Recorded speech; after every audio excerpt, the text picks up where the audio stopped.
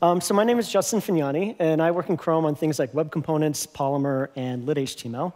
And right now I'm going to talk about the virtue of laziness. Um, next slide. Advance. Today is the day. Ah, that happened? Yeah, OK. Um, so we're going to look at how to do less, uh, be lazy, and take breaks, and end up with a better web application for it. Uh, and when I say better, uh, I'm really talking about four overlapping goals here. Uh, we want to deliver great user experiences, and we want our apps to be fast and to respond quickly to input and changes. Uh, and more than just making fast apps or making it possible to build fast apps, we want to make this easy. Uh, so easy, hopefully, that it's the default. Um, because this is going to make our users happy, our developers happy, and happy developers will make better user experiences in the long run. Um, so with these four kind of general goals in mind, um, I'm going to walk through several techniques for leveraging asynchronous programming for building better UIs. Uh, so we're going to look at batching work for better performance and developer experience, uh, keeping our UIs responsive with non-blocking rendering, managing async state for a better user experience and developer experience, uh, and then finally coordinating async UIs once we have all this asynchronicity throughout our application. Um, and this makes for a handy little talk outline right here, so I'm going to give some background and then jump right into it. Uh, but first, a quick note. Uh, this is day two of the Dev Summit, so it's a little more future uh, forward looking, you know. And uh, the stuff I've made here, the demos and, and helper code, is a little bit uh, experimental. But it's only using current browser features. And so all of these techniques uh, still work today. Um, so now for a little background. Um, I mentioned that I work on web components and lit-html. So we're going to use these things as the basis uh, for the demos and the talk.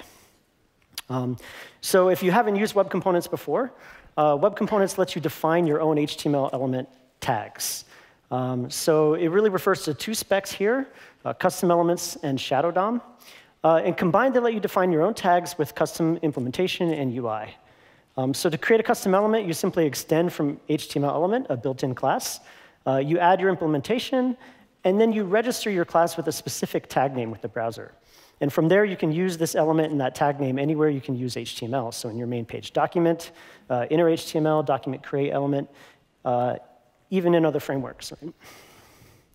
Uh, so next, lit-html. So lit-html is a way to write declarative HTML templates in JavaScript.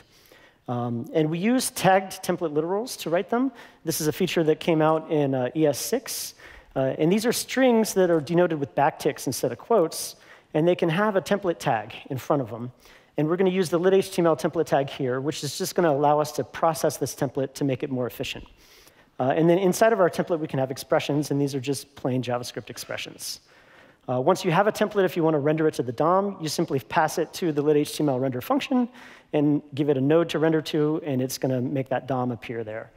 Um, and the nice thing is that if you call this render function multiple times with the same template but different data, lit-html is going to take care to only update the expressions that changed. It will never update the rest of the DOM uh, in the template. Uh, and then finally, if you take web components and lit-html and combine them together, you end up with lit element. So lit element is a uh, convenient way to write web components.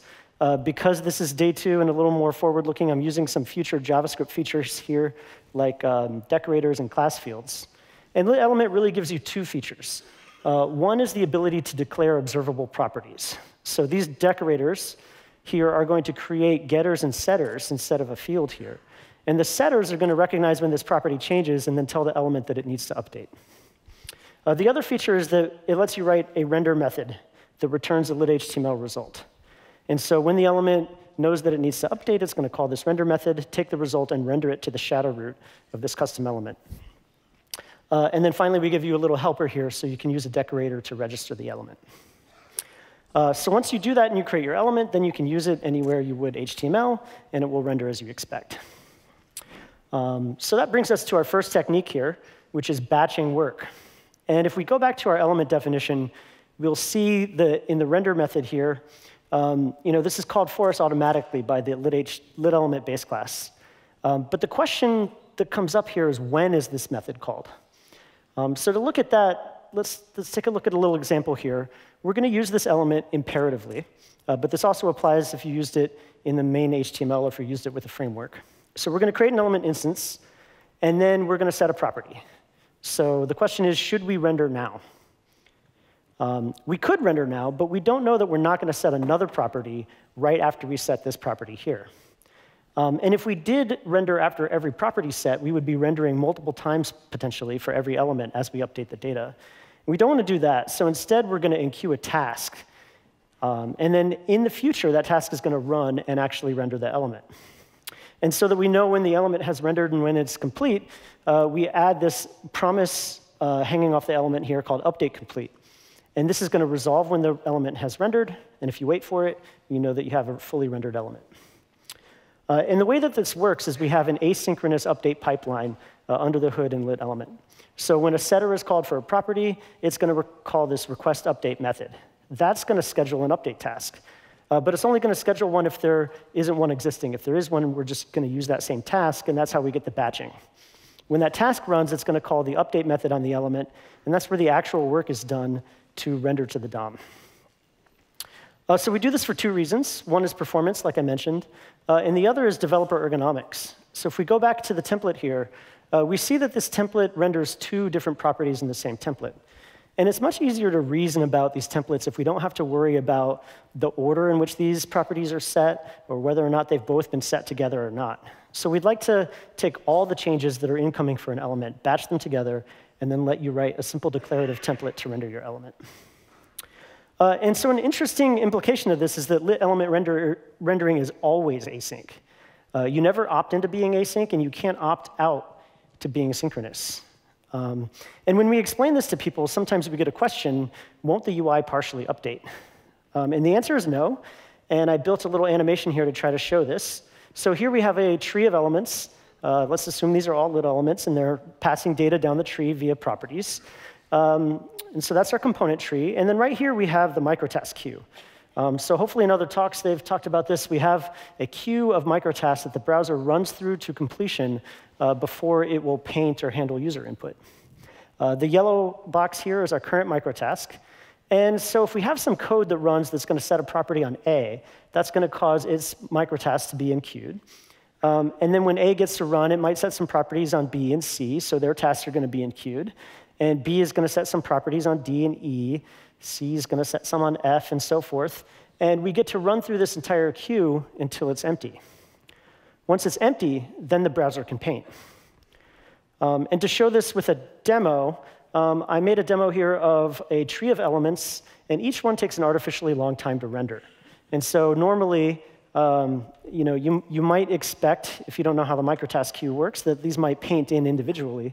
And we'll see here that if we click the render button here, that they all snap in at once. So even though each one takes 50 milliseconds and the whole thing takes 750 milliseconds, we don't see the intermediate states. Um, and this is great if your UI is painting fast, if it's not taking 750 milliseconds. Um, but if your UI, uh, if you have a very complex tree and your UI is rendering slowly, then we've just introduced jank, which we don't want. Uh, so this brings us to the next technique, which is non-blocking rendering to keep a responsive UI. Uh, so we just saw that we can have async rendering, but still block paint and input. And we know we can have complex UIs that take a long time to render. And we know we need to render in less than 10 milliseconds to keep our 60 frame per second target. Um, and one way to look at this is that we have all these microtasks uh, here in the blue rectangles, and they kind of fill out a complete task, and this task blocks rendering. And as long as the complete task fits within, fits within our 10 millisecond budget, uh, we're fine, right?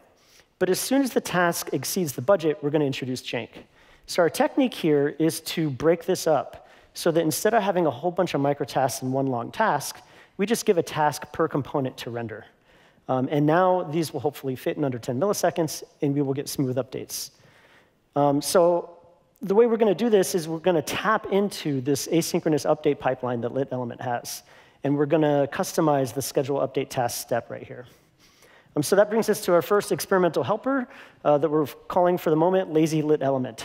Um, the way this works is that under the hood in lit element, uh, there's a method called schedule update. And by default, this thing just waits for a microtask, and then it calls validate, which does the work of rendering. Um, and so what we do in lazy lit element is we override this, and instead of waiting for a microtask, we wait for a promise that's resolved on set timeout timing. It's a very simple thing to do, but it lets the browser paint and handle input before we render. So now if we go back to this demo here, we can turn on lazy rendering. Um, and now everything's going to render on set timeout timing. And you can see that we paint the intermediate steps here um, as we go. And so we've reduced jank um, by showing some intermediate state. Um, and so a lot of frameworks have been working on uh, asynchronous rendering over the years, and especially React recently. Um, and they have created a demo that I quite like, which is a Sierpinski triangle demo. And the way this works is that you have a large tree of components here. And each one of these has also been written to take an artificially long amount of time. And they all have a label. And this label represents data flowing down the tree. So to update the label on all the components is going to take a little bit of time. And while we're updating the label, we're going to animate the size of the tree. And we want this animation to be smooth, and it's driven from JavaScript. So if we take a long time to up the update the tree, we're going to get jank. Um, this is a nice demo because it highlights some subtleties that you need to take care of when doing asynchronous rendering. So we have an expensive subtree to render. We want this continuous script-driven animation to be smooth. And then on top of that, we have these high priority inputs that we also want to handle. Uh, so I implemented this here with regular element that uses the microtask queue. And you can see that as the triangle updates in size, we get some jank in the middle there. And we want to avoid that. So it's very simple to re-implement this just by changing the base class to lazy lit element. And now you can see that we get a smooth animation uh, even as we update the labels here. Uh, but next, I mentioned we want to have these high priority inputs. So this brings us to the idea of urgent updates. Um, if you defer rendering, it's possible that you have situations where you want to render sooner than you've scheduled yourself to be rendering. Um, and so with these urgent updates, what we've done is we've created in lazy lit element, we don't just uh, override the schedule update method, we add a new method on here called request urgent update. And that's going to be called and you know, make your uh, element render sooner. Uh, and it's a very simple implementation. I wanted to show it because it's a little bit interesting. So instead of waiting for a promise that resolves with set timeout. We still do that, but we also store, um, let me go back here. Uh, maybe not. OK, well, we store a, we restore the um, resolve function uh, on the instance of the element um, when we request, or when we schedule an update. And then we can go back and we can um, call that resolve function, which will cause our promise to resolve earlier than it was scheduled to. So in essence, we're kind of jumping from the task queue over to the microtask queue, and we're going to render as soon as possible. Um, OK, and so this is how you would use it. So we have a partial implementation of our um, dot element here. And these are some event callbacks that might be called uh, from on mouse over and on mouse out. And they're simply going to set the state that our rendering is based on, and then they're going to call request urgent update uh, to kick us to the faster timing. Uh, and so once we do that, you can see that we have our smooth animation, our labels update, and we get a fast hover over effect here by calling request urgent update. Um, OK, and let me talk real quick about scheduling. So uh, in that demo there, I did a very simple thing. I said instead of using a microtask, we're going to use a full task. Um, and I actually didn't expect that to work as well as it did when I made the demo, but it did work very well. The browser ends up doing a very good job of kind of executing as many tasks as it can before it has to paint a frame. Um, but it's pretty naive, and it leaves off a lot of features that we would like, like different priority queues, the ability to cancel work, the ability to coordinate long chains of tasks that are all related together. Um, so that schedule update method is exactly where we would like to plug into a native platform scheduler API, like Shubhie and Jason talked about earlier. Um, so the, the important point is that with web components, we don't have a kind of overarching framework that can coordinate and schedule our components for us, and we might get components from different vendors. So being able to plug into a global platform vendored API for scheduling is going to help us tremendously here. OK, there we go. Let's move on to uh, talking about managing async state. So, so far we've talked about being asynchronous on a per component level. So yielding to the browser and letting it paint in between components. Um, but sometimes we need to manage data that itself is asynchronous. And lit HTML rendering is synchronous by nature. When you give the render function a template, it's going to do all the work immediately to render that. Um, so what do we do if we want to render asynchronous data inside of a synchronous template? Um, so we can look at how we handle data normally here. And if we have a string and just kind of a plain reference to that string. Um, it's pretty easy to use. We just use it in a template, and we get the rendering that we wanted. Um, and if we change this instead to uh, load off the network, it turns out that lit-HTML handles promises already. And so what we'll get is a blank screen here, and then when the promise resolves, we'll render hello world. Um, so this is kind of nice. We get some behavior that we might expect um, right out of the box. Um, but we might not want to render a blank screen uh, as our initial state. So this brings us to the idea of directives. Um, and these are functions that are uh, a little bit special, and they're able to customize how templates are rendered by lit-HTML. And one of the more useful directives that lit-HTML ships with is called until. Um, and what until does is it takes a promise, and it will render the result of that promise when it resolves, but it will render a placeholder until that promise does resolve. Um, so we can use that here, and you see that in the template, um, we call the until directive with our promise uh, and the loading placeholder, and that's going to show first. And then when it resolves, we're going to render our, our content there. Um, so this example is a little bit too simple because it assumes that we have this promise available already that we want to use. And a lot of times, uh, instead, we want to run some task uh, when we need to render. And we might have some operation that's dependent on some instance state. Um, so in this version of the example here, we have a file name property, and we want to fetch some data based on that file name. Now, we might be tempted to call fetch in line with the template um, so that we'll fetch the correct file and then render it. Um, and this does work, but it has a problem where every time we render this template, we're going to call fetch. And we might be rendering the template because some other properties change. Um, and in this case, we're going to flood the network with lots of fetch requests. Um, and we also might show an alternating kind of loading and uh, resolve state in our UI. Um, but it's almost the mental model that we want, right? So what we really want to do is we want to be able to run a task that's dependent on some data only when that data changes. so that brings us to the next uh, experimental helper here that we call run async. Um, and what run async does is it performs an async operation, but only when the data it depends on changes. Um, and it's actually a kind of directive factory. So the way it works is that you give it an async function uh, that takes some data and produces a result, and it returns to you a directive that you can use inside your lit-HTML template. Um, so if we want to reproduce uh, the previous example here using uh, this fetch, we can just create a fetch content directive um, by passing run async a function that takes a file name and calls fetch for us. And when we go to use it, we can just use it inside of our template, and we pass it um, the file name here, and then we pass it a, a another template that's going to render when we have um, successfully resolved that promise. Um, so this lets us get um, part of the way to our goal here. Um, came, we can render some asynchronous data, but it turns out that asynchronous data can be in a number of different states. Um, for any async operation, you can be an initial state, which means you haven't started it. You can be pending. Uh, it can have successfully completed or ended in failure.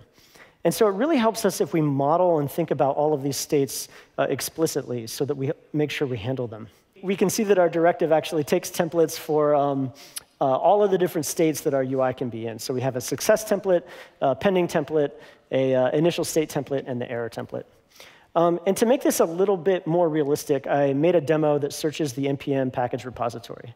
Um, and this is a basic kind of search as you type live uh, search result demo, and it has a simple UI. We just have a search box uh, and a results panel down here. OK, so we're going to build this demo in two parts, hopefully. Um, so first, we're going to define a search packages directive using run async. Um, and so here's our initial starting point for this directive. Where our async task function here is going to um, generate a URL for the npm uh, search service here, uh, and then get the results by fetching it. Um, and then here, we're going to handle the response and just do a little bit of due diligence and make sure that we have a, a 200 response and return that. Otherwise, we uh, throw the message we got back. And I wanted to make this um, task able to kind of trigger that initial state template. Uh, and the way we do that in async is that we throw, um, in run async, we throw an initial state error. So here I'm just going to check to make sure we have a query we can execute. And if not, I'm going to throw this error, and run async is going to render um, the initial state template. Uh, and then it turns out that the NPM registry is a little difficult to get it to trigger an error. Usually it just returns empty results. So to be able to show uh, the error state template, I just do some pre-validation here of the query and make sure we don't start with a dot or underscore. And then finally, to make this uh, even more realistic, if you're doing a search as you type UI, uh, you're going to have a lot of requests that you initiate where you don't care about the results because you've typed in you know, a different query by the time the result gets back. Um, and so the fetch API is able to take something called an abort signal so that we can cancel the requests. And so run async will generate an abort signal for you, and then you get it in this options argument here, and you can forward this on to the fetch API. Um, and so this is our uh, entire search packages directive here uh, built with run async. And so next we just need to use it. Um, here's a little snippet of the demo UI. We have an input um, element here, which just simply displays the query and updates the query on input. And then down here, we use the search packages uh, directive. Um, and so we use it by passing it the query, and then we give it a success template. Here we just iterate over the results and display little cards. Uh, and then we give it the pending, uh, initial, and error state uh, templates here. Uh, and so when we go to use this demo, we, we see that we have the initial state template rendering. Sorry, that's small. It says enter a search term. When we type, it turns into loading, and then we get our results back. Um, and if we were to go back and enter a query that starts with an invalid character, you're going to see the error template there, and that even updates as you type. Uh, and if you realize your mistake and go in and type in a new term, you're going to get all the uh, uh, intermediate um, uh, async state templates as you type. So that's the demo, and now you really did see most of the implementation there, so it was uh, quite easy to do with that directive. Um, and the key takeaway here is that we want to explicitly model our asynchronous operation state. Um, if we do that, we're more sure to take care of all the states uh, that we can be in. And if we build a UI for each state, then we're going to uh, accurately let our users know what is going on with the application, and they're going to have a better user experience.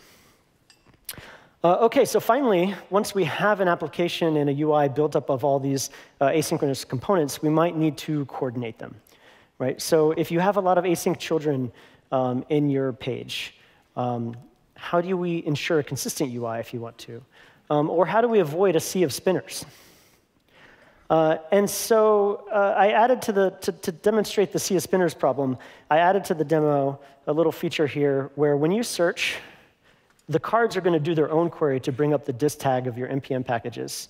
Um, and you can see there that we saw a lot of spinners on the page. And this can be kind of a distracting UI. Uh, so we want to give developers an option to not have to uh, deal with a sea of spinners. And the way we're going to handle this is that we're going to coordinate the components here with events. Uh, so what we're going to do is we're going to fire a promise-carrying event. Um, and that promise is going to resolve when some work is done. So an async child component uh, creates a promise, fires this event, and then resolves the promise. Um, and so that's going to look like this. A is going to be our container up there, um, and E and F are our async children. And they're going to fire this pending state event that holds a promise. The, con the container is going to handle the event and wait for that promise. And then the children, when their work is done, they're going to resolve the promise. And finally, uh, when all the promises have settled, uh, we're going to update the UI. So that brings us to our last uh, experimental uh, prototype here called pending container. And pending container kind of takes care of all this uh, plumbing for you. Um, and it's a class mixin, so you can apply this to a superclass like lit element. And this has two features too. Um, we have a has pending children property. Um, so this indicates whether or not there's async work happening below you. Um, and when this property changes, it's going to cause a re-render of the element. Um, and then we have an event listener that listens, listens for the pending state event and then triggers the bookkeeping so that we know if we have any extra work uh, pending below us. Uh, and to use it, you can just apply this mixin um, to the superclass here, to lit element. And once you do that, you get available the has pending children property that you can use in your template. Um, and so now we're going to add a spinner, and this is a top level spinner, um, to the UI that's triggered um, based on whether or not there's any pending children. And so the run async helper is going to fire these events for us, and this container mixin is going to capture them. And so what we're going for here is a UI where we have a spinner, and it happened again. There we go. OK. Might just be a faulty button here. Um, so what we want to add here is a spinner at the top of the UI that's going to be going whenever there are uh, pending search results coming back from the server, or we have children that need to update. So now you see we get the spinner as we type, um, we don't get the spinner on the children, but we can see the top level spinner is still going, uh, and then the results come in and the spinner stops. Um, and so that's the UI we were going for, and it was uh, pretty straightforward to build with these directives. Um, so when you have an asynchronous UI, there's a lot of different options that you have for how to handle this. Um, you could try to block the UI uh, while you have pending work. You could show the raw incremental updates. Uh, you could have individual spinners on your page, or you could try to replace that all with top-level placeholders and spinners. Um, so the, what you want to do kind of depends on the UX and the UI that you're trying to build. But the key here is to provide the plumbing and the framework and the nice APIs so that you can uh, build whatever you choose to build. And that went two slides forward. All right, well, this is my wrap up. Um, so we're very excited about some additional work that's going to be done in this area. So Jason and Shubhie talked about the native scheduler API, which we're extremely excited about. Um, display locking is a new proposal where you're going to be able to lock an entire portion of your screen so that you can update it incrementally and then flip it to the new version. And Gray talked about virtual scroller, which is going to let us handle large amounts of data um, as well. And then on our end, we're going to be working on more libraries and examples of how to do things like lazy load components, uh, background rendering, and uh, viewport-based visibility rendering so that things only render when they uh, show up on the screen. Um, I have a few links here. These will probably be easier to get to from the video. Um, and then I'm going to be over in the Ask Chrome area doing Q&A after this if you'd like to ask any questions. OK, thank you.